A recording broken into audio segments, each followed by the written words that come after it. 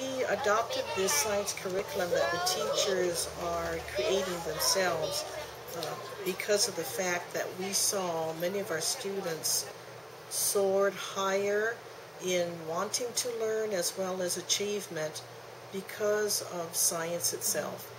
Yeah, it goes into the earth, and then it goes into, into and then it goes up to the plants. What is your favorite plant? My favorite plant is the papaya. The papaya. Okay. My favorite plant is the strawberries. Palolo School has changed tremendously because of uh, corrective action as well as restructuring.